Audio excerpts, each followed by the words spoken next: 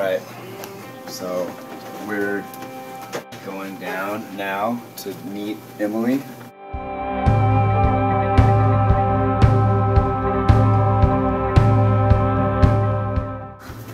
She's the reason this whole project happened. Watch the western sky falling like a landslide.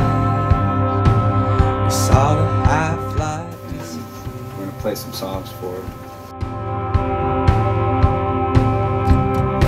I know how it hurts inside to watch the dead leaves dry.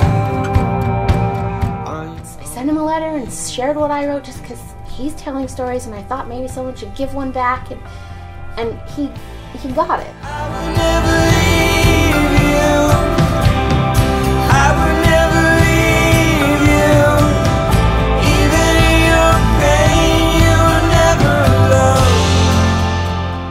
And we're going. Here we go. Alright, On our way.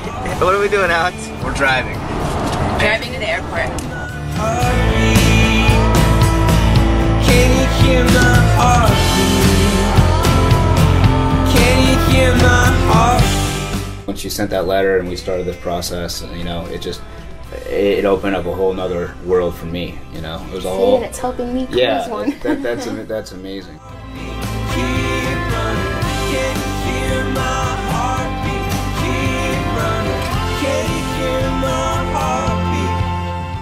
Telling you, the recordings are mind-blowingly beautiful, but they do nothing compared to this.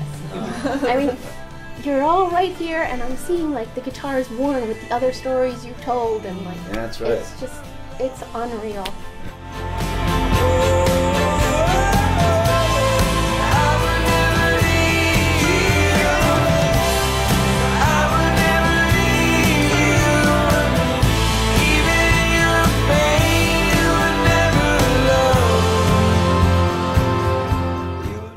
Life, people have told me I should write a book or something, and now I don't have to.